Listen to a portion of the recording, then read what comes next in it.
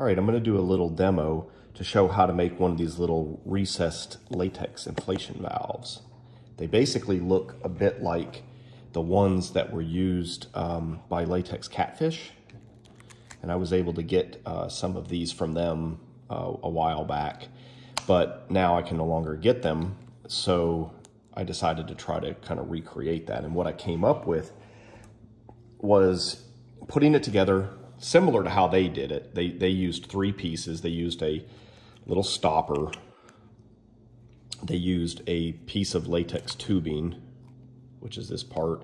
And then they used some kind of a little molded rubber piece, which looks kind of like a. Um, I suspect this is a um, bottle nipple for feeding calves or goats. Um, although the ones that I can find don't uh, seem to have this flange around the bottom of it. So what I decided to do is just try using a regular baby bottle nipple. Um, this is a natural latex variety. Most of them that are on the market are made out of silicone, but you can, if you specifically look for natural latex or natural rubber, then you can get ones that are actually indeed rubber. So to make one of these things, um, there is a hole at the very tip, but we're going to cut the tip off. There is another hole right here, and it's kind of for um, air to get back out. So we need to plug this one. And the way that this thing is actually going to mount, it's going to mount to the latex kind of like this. And then when you want to pop it out, it'll actually kind of pop that way. So we want to go ahead and put a little piece of latex right here. So I'm going to just cut out a little piece, kind of glue it on the back side.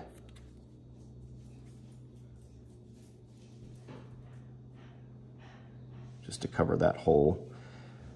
Glue, glue by itself might be enough, but I, I like to have something of substance to kind of stick to it. So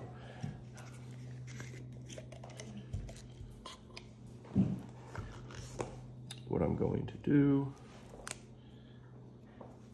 is get just a little bit of glue on here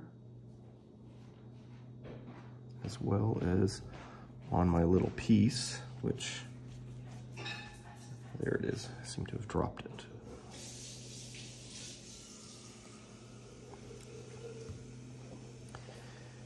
And like with with latex uh, glue, you want to kind of let it set up for just a, a second.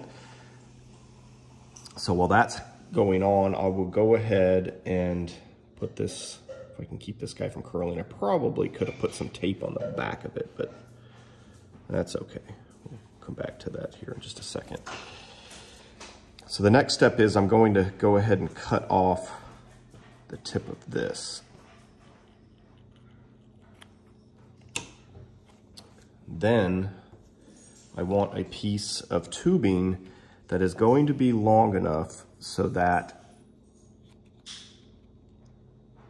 I basically can kind of stick it through here. And I want it to come to, at least to that point. And then when it when we pop it this this direction, we want it to kind of stick up a good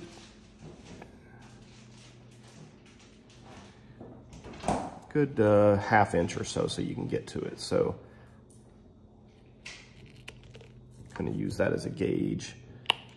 So it looks like, well, it looks like we're probably about half an inch to three quarters of an inch. And at this point, if you want to, you can kind of kind of cut this a little bit more straight.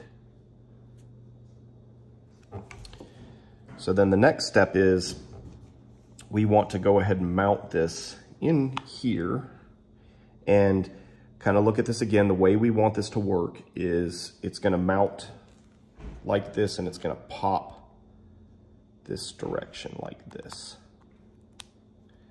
So what I might go ahead and do, so I want to turn that actually kind of inside out. So that's actually kind of how it's going to mount. And I can kind of look at this one to kind of kind of see that. So what I want to do is I want to take some of this, put it inside here.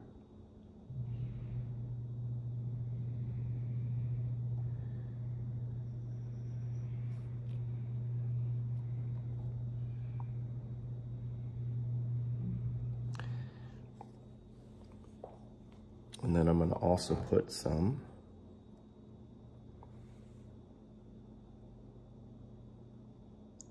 around here. Uh, and then I'm going to put that in there and let it dry.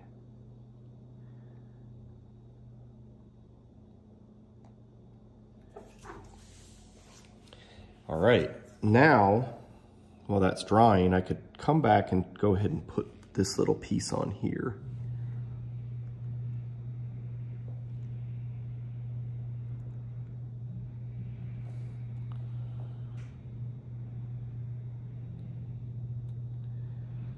We want to put some pressure on that to make sure it seals.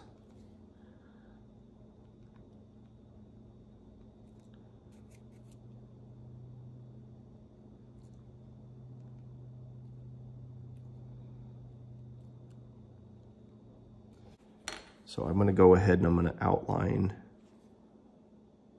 well, right, I'll tell you what.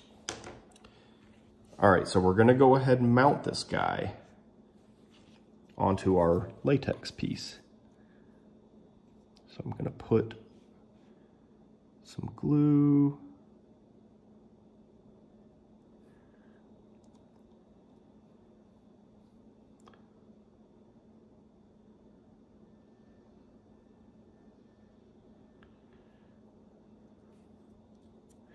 And actually what I can do is I can kind of stick it down real quick and make an imprint.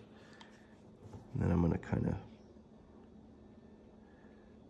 add some glue down here.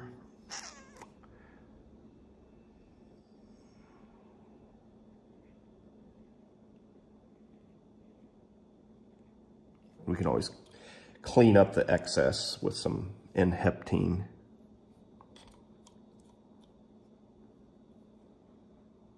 Just kind of doing this quick and quick and dirty just for demonstration purposes. I'd probably be taking a lot more care if this was actually going to be used on something. So I'll let that set up for just a second and then we'll go ahead and mount that.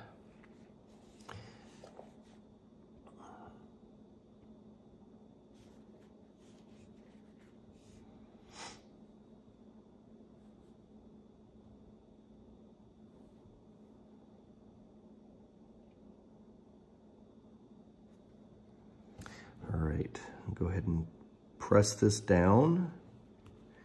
Try to work out all the air bubbles and wrinkles.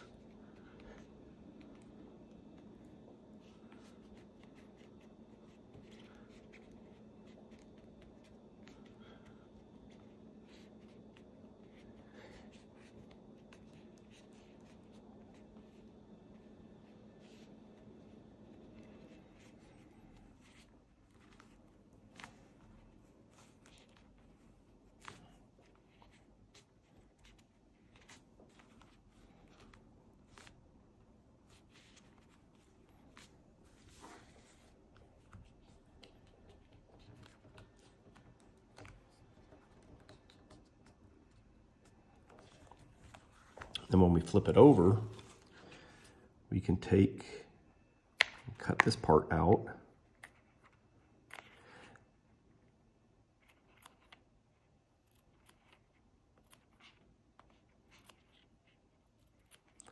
Because you can kind of see the, the little donut hole in the middle. So you can just kind of use that as a guide uh, for cutting this out. Of course, you could you could do this ahead of time. If you measure both these circles, you could probably go ahead and mark them and cut the circle ahead of time. You just have to uh, uh, carefully align the valve with the hole.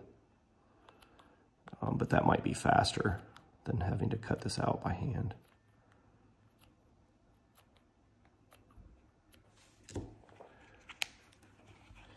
And there's your, your valve, and then you can put your your plug in it like that.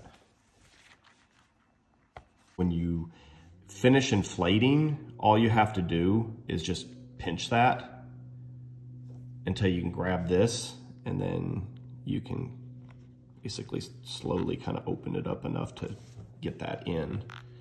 And then that's really all you got to do. So you don't really need to worry so much about having the one-way valve since this is such flexible material that you can just kind of pinch it shut. That way you don't lose air. And then you can put this little stopper in. And that's pretty much it.